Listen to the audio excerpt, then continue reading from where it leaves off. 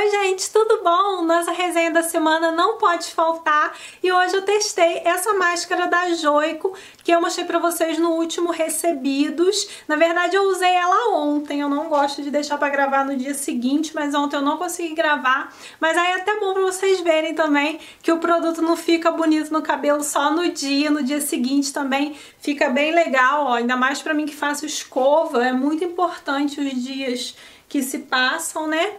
Então vou contar pra vocês hoje o que, que eu achei dela. Ela é uma máscara nutritiva, mas ela tem uma pegada de reconstrução também, então vai ser complicado a gente definir, porque no cabelo eu senti ela um pouco mais nutritiva, mas ela tem bastante queratina na fórmula, acho que tem uns três, dois ou três tipos diferentes que eu vi aqui. A promessa aqui atrás, olha, é brilho instantâneo e tratamento reparador. Uma das promessas principais dela é o brilho e a reconstrução repara, nutre e renova os cabelos coloridos, deixando instantaneamente mais sedosos, suaves e brilhantes. Aí aqui fala que é para aplicar no cabelo, deixar de 5 minutos e ela tem um cheirinho super gostoso. Pra quem ficar em dúvida dela ser um produto para cabelos coloridos e o meu cabelo ser descolorido, vou deixar a informação para vocês que todo produto para cabelo colorido costuma ser muito bom para a maioria dos cabelos, porque é um produto que dá brilho, sedosidade,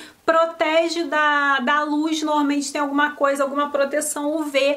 É, eu gosto muito de produto para cabelo colorido, sempre dá certo no meu cabelo. Vou mostrar para vocês ela aqui de pertinho, ó, a embalagem assim de bisnaga, bem bonitinha.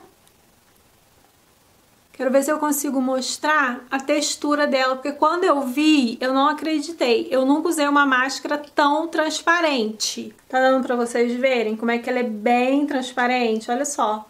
Eu falei assim, nossa, essa máscara deve ser muito leve. Aliás, já vou parar com essa mania minha de achar que máscara transparente é muito leve, porque não necessariamente. E eu usei assim, eu lavei meu cabelo duas vezes com shampoo. Como eu tenho shampoo dessa linha, dessa linha Color Therapy da, da Joico Pack, eu usei ele pra fazer parzinho, né? Ele é um shampoo muito bom, bem suave e tal, mas ele lava muito bem o cabelo. O shampoo para cabelo colorido também tem essa proposta de não agredir o fio, porque se lavar muito vai retirar a cor do cabelo da pessoa, né? Então são shampoos mais suaves e mais hidratantes. Ele é bem bacana esse shampoo.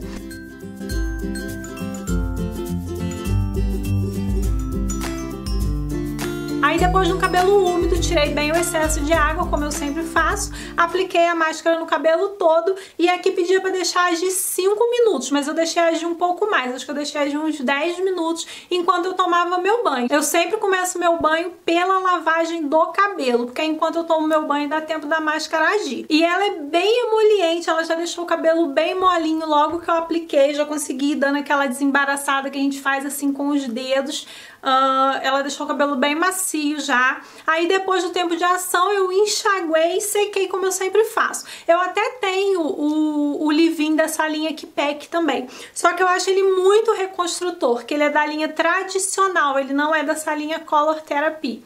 Então eu preferi usar o meu leave-in da L'Oreal, aquele roxinho, que até entrou nos preferidos que eu mostrei pra vocês na semana passada. Eu não tô com ele aqui no momento, mas ele vai estar tá no link aqui embaixo junto com todos os produtos como sempre. E o resultado que deu no meu cabelo foi esse, ó. Na verdade, esse daqui é resultado de dia seguinte, como eu falei com vocês. O resultado foi bem nutritivo, gostei bastante também desse tratamento da Joico. Como eu falei, ele é nutritivo, mas ele tem uma pegada de reconstrução também. Olha como é que o cabelo fica uh, com emoliência, não fica aquele cabelo duro, daquela reconstrução muito forte, muito pesada. Minha franja, tá vendo? Ó, tá bem viradinha. Meu cabelo só fica viradinho assim quando ele tá bem hidratado, senão fica tudo espigado. E assim, eu achei essa máscara bem eclética, eu acho que ela serve para qualquer tipo de cabelo, porque ela não pesa. Vocês viram lá a textura dela meio transparente, isso realmente ajuda a não pesar, até porque a proposta principal dela é brilho. Quando a máscara promete muito brilho, você pode saber que ela não vai ser uma máscara pesada.